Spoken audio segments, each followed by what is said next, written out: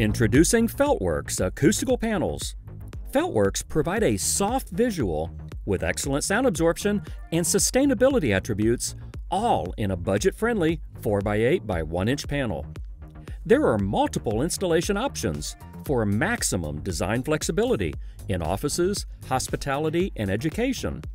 Combine this with five standard colors that coordinate with your finishes, plus a range of high NRC values to tame those noise levels. First, let's review screw attachment of Feltworks to metal or even wood furring. For framing, let's start with drywall grid, suspended from structure via the uptight clip. 7 8 or inch and a half hat channel can also be installed on 16 inch centers, running parallel to the length of the Feltworks panels.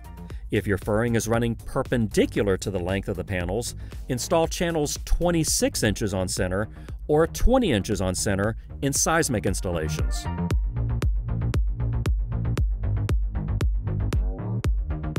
If your installation calls for discontinuous framing, the suspension should be cut 1 to 7 inches short of the desired panel edges to avoid visibility of the framing.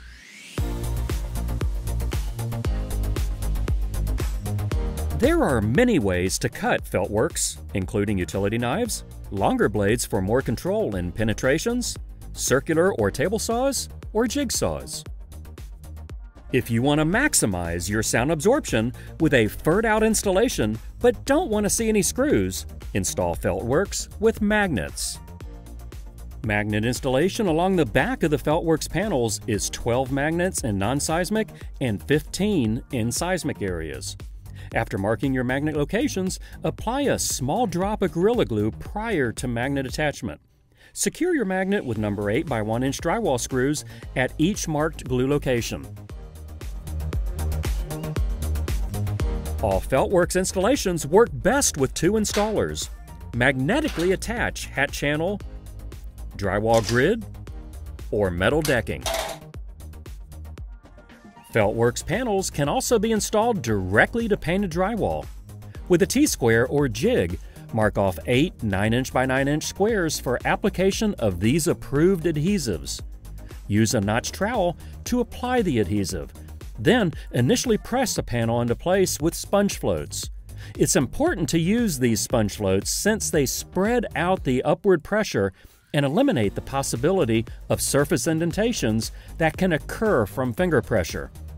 Follow up with uniform pressure at all eight locations, and your installation is complete.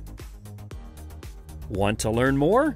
Visit ArmstrongCeilings.com forward slash Feltworks to easily retrofit your existing space or create a whole new quiet space.